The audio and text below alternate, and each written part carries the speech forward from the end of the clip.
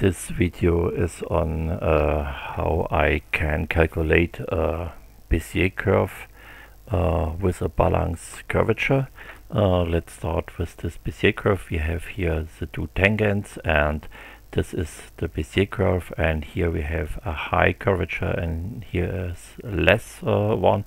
So uh, what I can do, I can uh, start a method um, near constant curvature so and we get this result and we see um, if I change the sketch uh,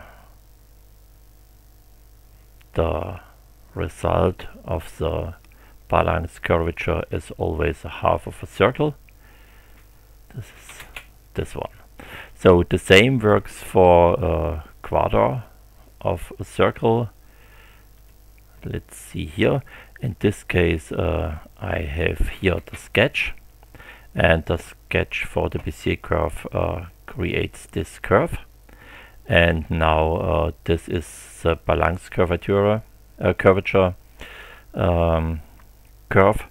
And when I edit the polygon with the control points and I do this that uh, I say both are tangents to the circle in this way the result of the optimization process is uh, uh, this arc.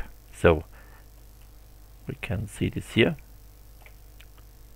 This is the Bezier curve with these poles and in background under the circle we still see the optimized curve.